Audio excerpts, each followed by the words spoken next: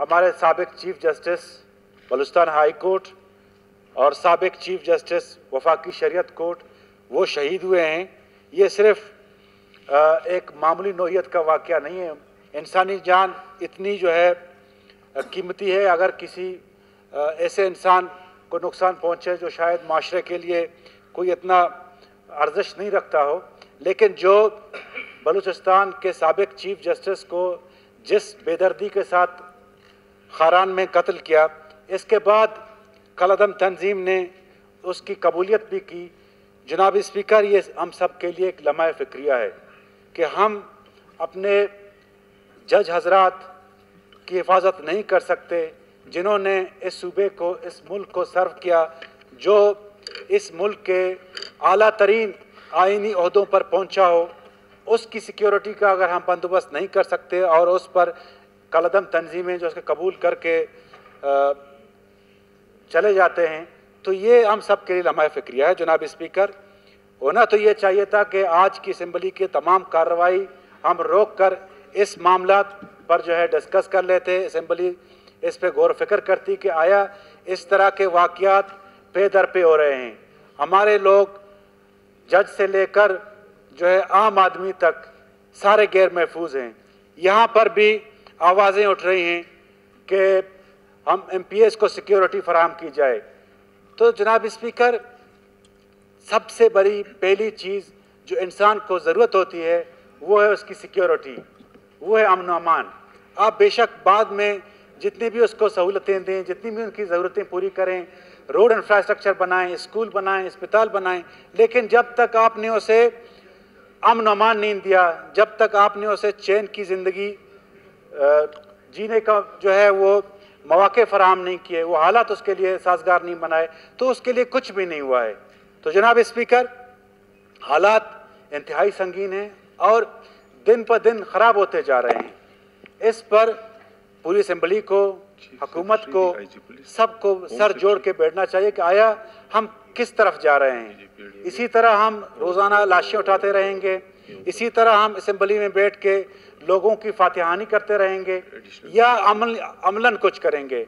हमने बहुत सी ब्रीफिंग देख ली हैं सुन ली हैं और हमारी नज़रों से भी गुजरा है।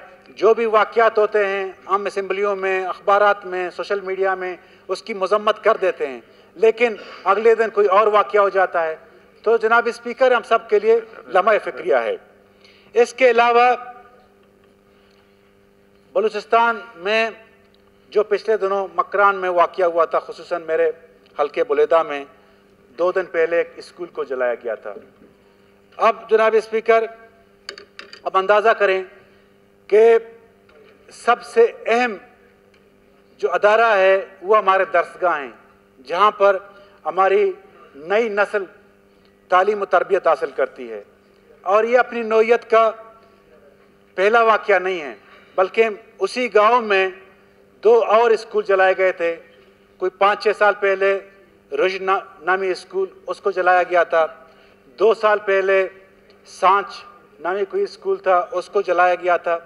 लेकिन बदकिस्मती से हकूमती कोई कार्रवाई नहीं हुई है।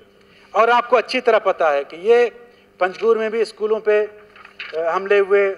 उनके जो एडमिनिस्ट्रेटर थे उन पे जो हैं थ्रेट्स उनको मिले। बलनगवर दश्त एक जगह है जहाँ पे लाला रशीद साहब का हल्का है। उधर एक प्राइवेट स्कूल को जलाया गया। जनाब स्पीकर, हमें एज अ कौम सोचना चाहिए कि हम कहाँ जा रहे हैं। मकरान बलूचिस्तान के कुछ एरियाज़ में एक है कि जहाँ पे बड़ी तादाद में मिडिल क्लास रहती है।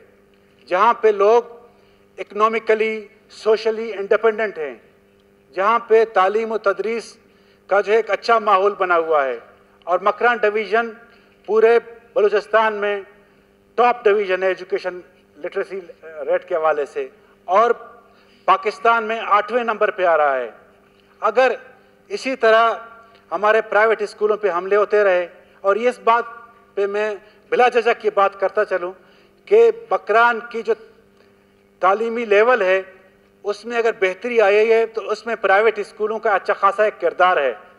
जिस तरह हमारी गवर्नमेंट स्कूलों का हाल है, वो तो हम सबको पता है। उसमें डेफिनेटली मरीज़ साहब कोशिश कर रहे होंगे कुछ ना कुछ बेहतर कर जाएँ। लेकिन अगर ये सिलसिला इसी तरह आगे बढ़ता गया तो खुदा न खास्ता तो हम, हमें यहाँ बैठ के सोचना पड़ेगा कि हम किधर जा रहे हैं। हमारा मुस्तबिल क्या होगा? हमारी आने वाली नस्ल को हम जो है जो माहौल और जो तालीम हमें देनी चाहिए, क्या स्कूलों को जलाया जा रहा है दरसगाहों को बंद किया जा रहा है, यूनिवर्सिटियों पे जो हैं, उनको मुतनाज़ा किया जा रहा है तो हम अपने आने वाली नस्ल को बेहतर मुस्तबिल दे सकते हैं। तो ये ये बहुत बड़ा और एक अजीब नोयत का वाक़ हुआ है।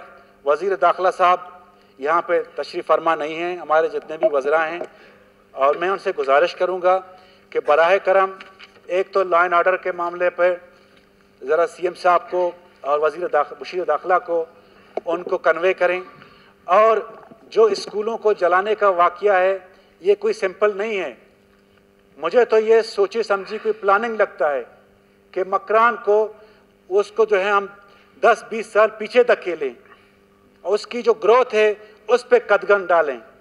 तो इस पर पूरी असम्बली को गौर फ़िक्र करना चाहिए।